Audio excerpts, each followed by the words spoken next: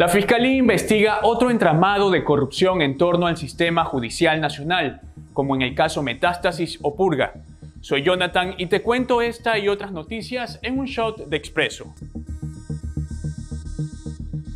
La madrugada de este jueves 4 de abril, la Fiscalía General del Estado anunció que ha pedido prisión preventiva para 13 de los 14 individuos detenidos durante los operativos de allanamiento relacionados con el caso Plaga. En otras noticias, en Sucumbíos, seis funcionarios de Ban Ecuador y del MIES fueron detenidos por presuntamente alterar documentos para cobrar el bono de desarrollo humano.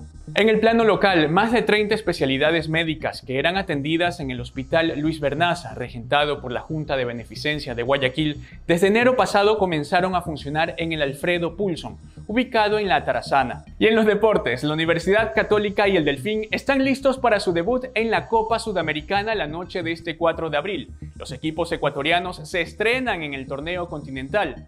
El trencito medirá al Cruzeiro de Brasil y los cetáceos al Real Tomayapo de Bolivia. Para más noticias revisa expreso.es.